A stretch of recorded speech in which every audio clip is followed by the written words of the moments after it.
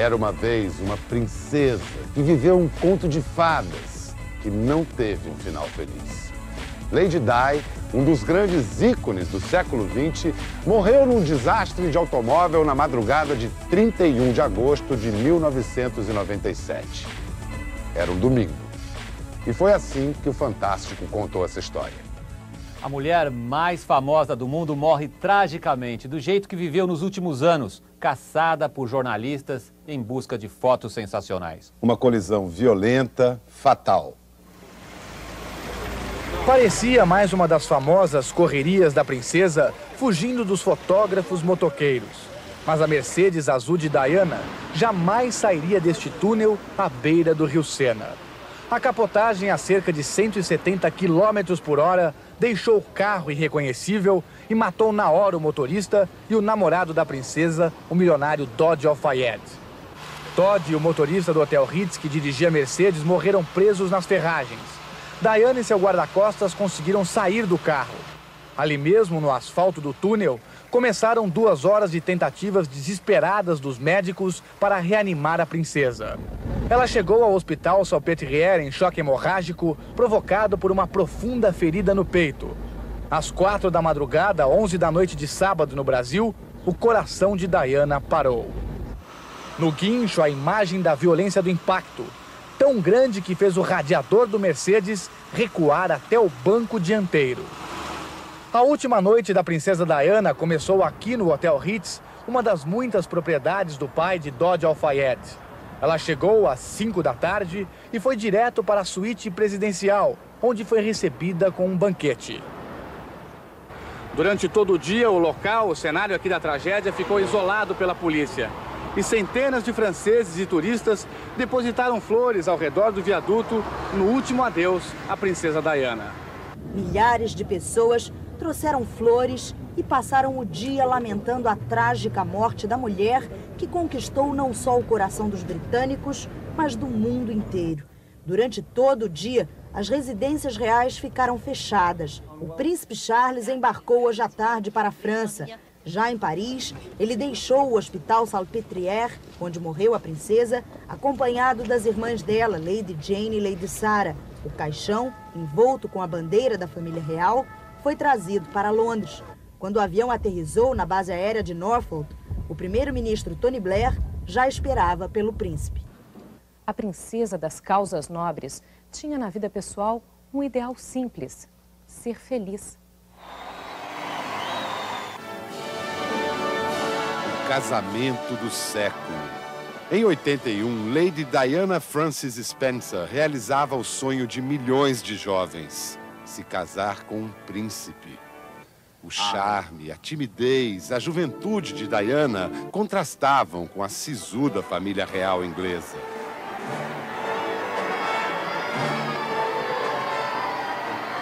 O conto de fadas começara um ano antes, quando a professora do jardim de infância se tornou a namorada do príncipe.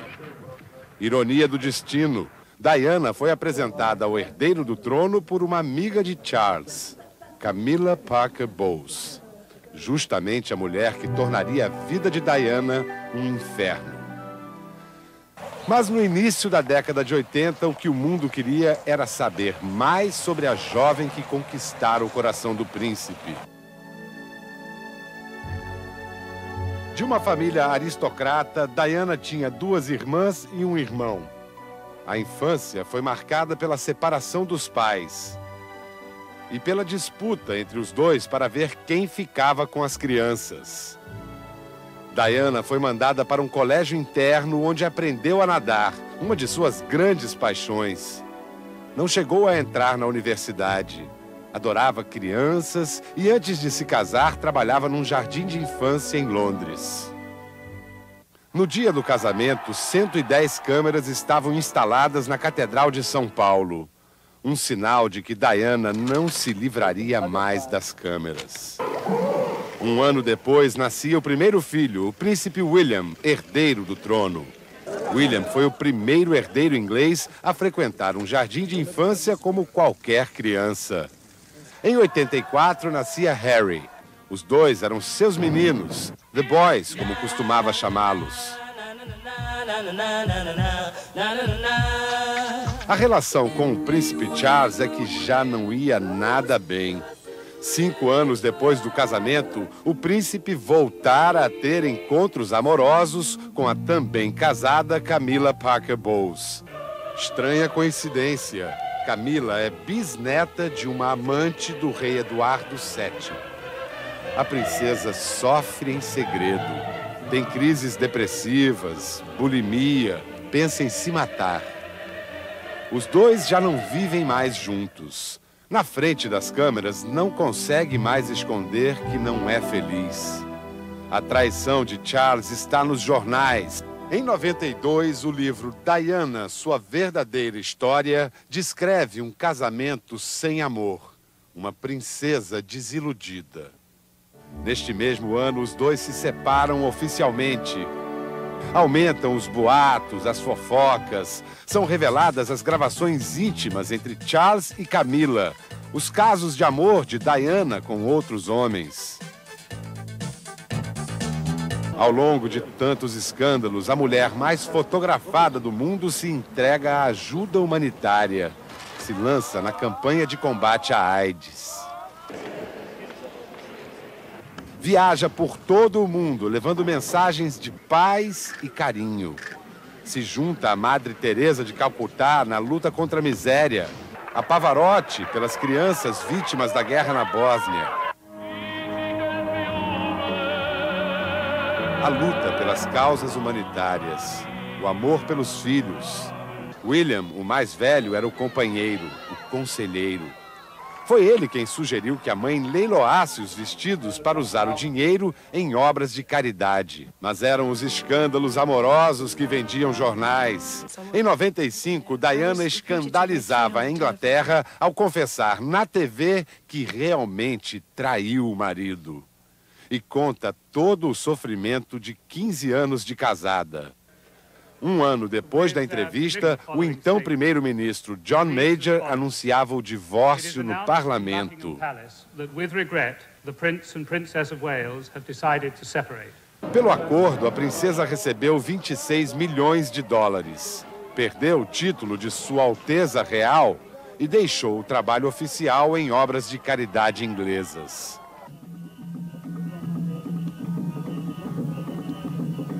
Mas não abandonou a luta pelas causas em que acreditava. Foi a Angola, na cruzada contra as minas terrestres. Em Washington, se encontrou com um soldado brasileiro vítima das minas em Angola. Na Bósnia, há menos de três semanas, conversou com as crianças, vítimas ainda mais inocentes da guerra. Diana não precisava de título.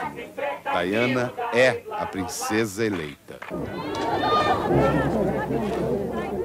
A coragem, a simplicidade e a determinação de Diana fizeram dela uma das mulheres mais admiradas e imitadas do mundo. A noiva do príncipe era tímida, meio desengonçada, discreta, simples. Mas virou fenômeno mundial. A Diana Mania fez as mulheres imitarem o corte de cabelo, o jeito de vestir, mas a juventude e a energia de Diana não combinavam com o protocolo real. Chegaram os filhos e ela começou a quebrar as regras, dando o dedo para o filho chupar como qualquer mãe da classe trabalhadora. Participava das brincadeiras na escola, fazia castelos de areia na praia. Numa visita à Casa Branca, a princesa fez o que qualquer mulher da geração dela gostaria: dançou com John Travolta o estilo Diana não escondia as emoções. Talvez por isso as pessoas se sentissem tão perto dela.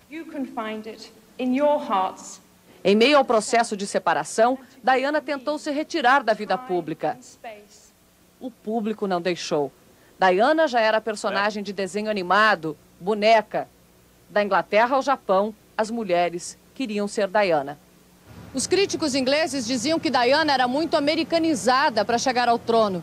O certo é que nenhum país ela exercia tanto fascínio quanto aqui nos Estados Unidos. Hoje, os americanos que acompanharam a trajetória dela como se fosse um filme de Hollywood compartilharam a dor da tragédia, deixando flores e mensagens em frente ao consulado britânico. O fantástico de 31 de agosto de 1997, o dia em que a princesa Diana morreu, fica por aqui. Mais do que a morte da princesa, fiquemos todos com a história de sua vida.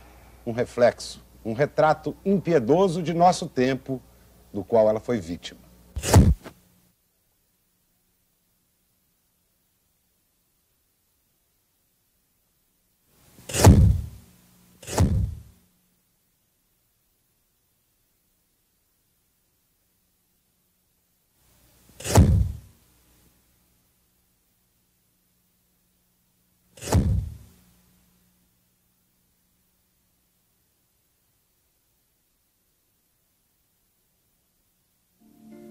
Como é triste que um nobre espírito fique assim tão transtornado.